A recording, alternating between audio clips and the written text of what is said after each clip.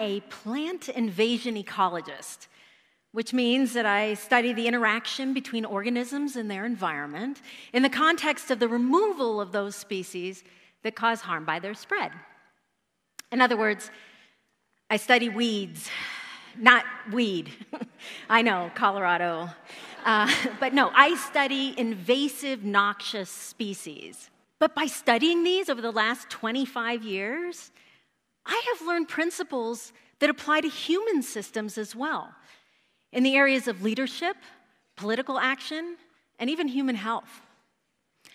The species that has taught me so much is tamarix, a Eurasian shrubby tree that grows in miles long thickets along our rivers here in the West that elevate wildfire risk and they poison the soil with salt and they lower groundwater levels and generally create conditions that are inhospitable to the plants and animals that we historically associate with our Western rivers.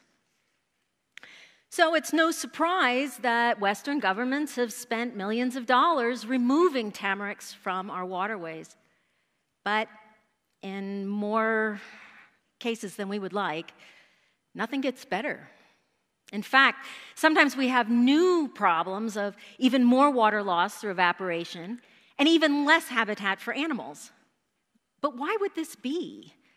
The answer to this paradox can be found in part in the research that I've done on the competitive ability of invasive tamarix when it's just a seedling.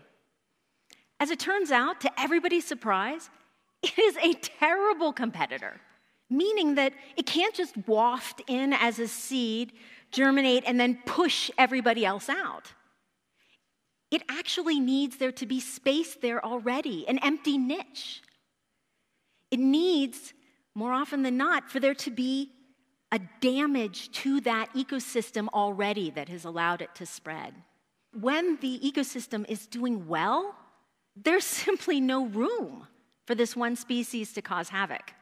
So, the answer to our damaged ecosystems along rivers here in the West has to do less with just identifying and removing this one noxious species and more to do with addressing overall ecosystem health. Now, as it turns out, that's a principle that has applied to my life in profound ways. I'm going to tell you three stories. The first has to do with the reason why I moved to Colorado in the first place. It was to accept a position as the director of research at Denver Botanic Gardens. And like any new manager, I made a lot of mistakes, including that when my team had problems with morale and productivity, I identified the employee that was underperforming when I couldn't get her to change her behavior, I did what any good invasive species biologist would do, and I weeded her out. but to my dismay and surprise, nothing got better. In fact, I now had this new problem that my staff were terrified of me. The similarity between that situation and Tamarix caused me to take a hard and humble look at whether my departmental ecosystem maybe had been damaged already. And it was. I had stepped into this hierarchical situation that I had made worse by being inaccessible and being opaque. Fortunately, things that I could and did address. Because I had a disproportionate capacity to affect that ecosystem that was the department, one could say that I was the keystone species, not unlike the wolves in Yellowstone National Park, that have impacts on the entire ecosystem simply by their presence or absence. But as it turns out, one does not have to be the keystone species to have an impact on your ecosystem. Because if you're being affected, it means by definition you are a part of that ecosystem and therefore have the power to affect it. I learned this principle in the context of my second story, which has to do with political action. See, when I was first hired here in Colorado, I could have been fired just for being gay. And unfortunately, there are dozens of states where that's still true. But fortunately, not only did that not happen, but my employer offered my partner health care benefits, which was awesome, except that because our relationship had no legal status, I had to pay taxes on that benefit as if it were additional income. And it turned out there were myriads of other financial, plus legal, and even emotional issues associated with not being able to legally marry. In a situation like that, it is so tempting to just focus on whomever or whatever you perceive to be the weed. In our case, we perceive the weed to be the political leaders and the voters who believed that we weren't entitled to equal treatment under the law. But if we had just done that, nothing would have gotten better. Instead, we joined the hundreds of thousands of other people who bravely came out of the closet. We joined others in testifying at the Capitol building, and we made ourselves available to the media. And you know what happened? That's us.